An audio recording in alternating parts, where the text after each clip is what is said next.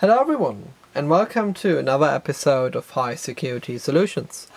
Today I'm going to show you the Defiant ground anchor. I'm also going to explain why this is the best ground anchor that money can buy. And we're going to talk about a few things you have to keep in mind while putting this ground anchor into the ground. The first thing you will notice is that it's quite heavy. This ground anchor weighs 2.1 kilogram. And next thing you will notice is that there's something inside. If you have a thin flashlight, you can put some light in this or these holes down here. And you will see that there are some black inserts in here. I contacted the company because I wanted to know what's in there, but they denied to tell me. Thing is though, we all probably know what's in there. It has to be some ceramic compound material or hardened steel material which will prevent you from getting through here, or the be better the thug from getting through here. So what is so special about this ground anchor? As you can see, you will not bolt this ground anchor like normal anchors to the ground with some sort of screw. You will use this, a chemical bolt, which in this case is a spit chemical bolt, and this chemical bolt is a high professional bolt you can also use this bolt under submerged conditions, or this, whole, uh, this bolt will withstand harsh weather conditions.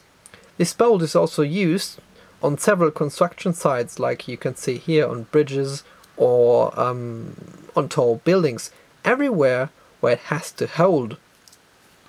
So, thing you have to do now is you have to drill two holes. But what about the size of the holes? First we have to take a look at the rods. The rods are 90 millimeters long and have a diameter of 16 millimeters. I recommend drilling a hole of 20 millimeters in diameter and a depth of 120 millimeters. When you drill the holes, you have to clean the holes.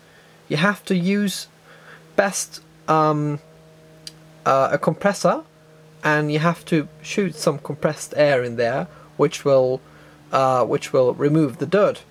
And then you have to use a metal brush like this one. The metal brush however has to have a, a larger diameter than your drilling hole. So this brush is 22 millimeters in diameter. You can either fit it to your drill or you can fit it on this hand tool and operate it with this hand tool whatever you like. So when you cleaned the holes you have to put let's say like 60 millimeters of the chemical bolt in there. And then you have to put the anchor in there and make sure that the chemical anchor covers all the sides of your rods. so, this chemical bolt also comes with this little tool which you have to screw on here when opening it and then with this little tool which you have to use to push the chemical bolt out. You have to work pretty fast because um, this bolt uh, the chemical reaction, reaction will take place um, or will start in a few minutes. So also when removing this cover everything is explained here on the back. How to use everything and how to do it. And if we, they even get give you recommendations of how deep the holes have to be or how uh, the holes have to be in diameter. And as you see can see here drilling cleaning cleaning again and these two steps have to do several times. Okay?